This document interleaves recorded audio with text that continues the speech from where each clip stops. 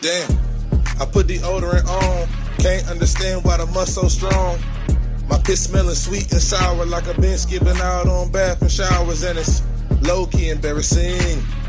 My feelings been hurting, especially when my baby said, Who the hell ordered onion rings? I tried everything, even use spray for it. I went to the doctors, got some x rays for it. I even went and bought a bottle of Polo cologne.